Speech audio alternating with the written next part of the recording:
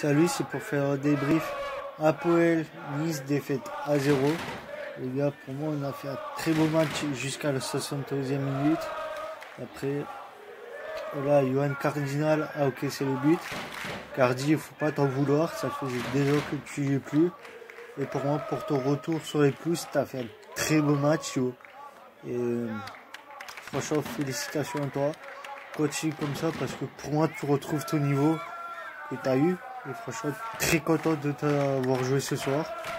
Après l'équipe ce, soir, a eu des balles pour, euh, pour qu'on ouvre le score et, pour qu'on gagne ce match. on est une équipe jeune.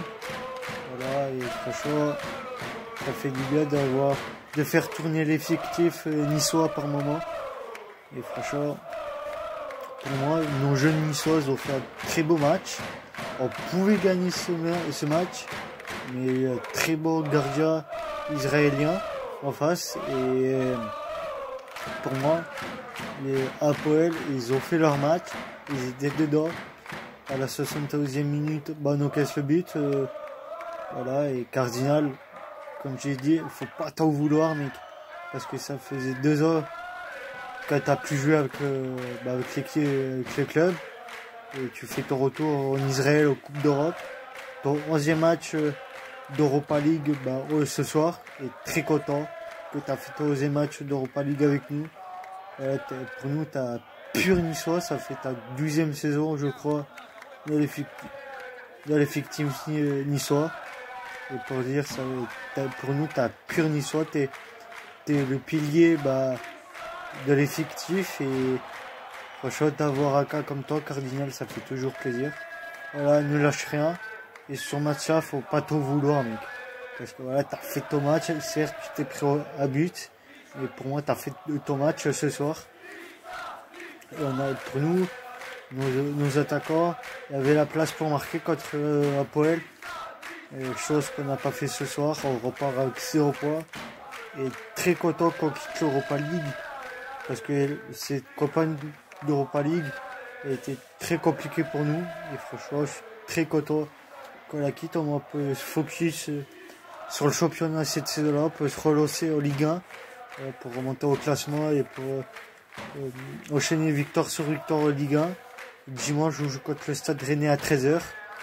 Il faut impérativement une victoire contre Rennes, dimanche à 13h. Voilà. Ce soir, j'avais pronostiqué 2-0 doublé de Lopez. Lopez, pour moi, t'as pas fait très gros match. C'est pas le Lopez qu'on a vu contre, quand il était à Monaco, quand il était à Lille et tout. C'est pas le Lopez qu'on a, en ce moment. Franchement, déçu euh, de la prestation de Lopez pour cette mi-saison. Voilà, les gars, franchement, faut pas s'en vouloir parce qu'on n'avait pas le niveau de l'Europa League. C'était là, on a eu une équipe beaucoup trop jeune. Ah oui, et je voudrais ouvrir une parenthèse. C'est sur Gasper Dolberg. Monsieur veut partir, mais ça, je vais faire une vidéo à part. Voilà, je ferme cette parenthèse-là. Et pour moi, voilà, on a faut trouver des joueurs qui a la grinta. On a eu, on a vu, on a des joueurs du centre de formation qui veulent,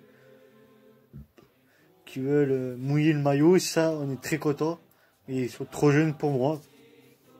Sur ce, les gars, Issa Nissa, et à demain pour l'avant-match euh, Nice Stade Rennais. Hein.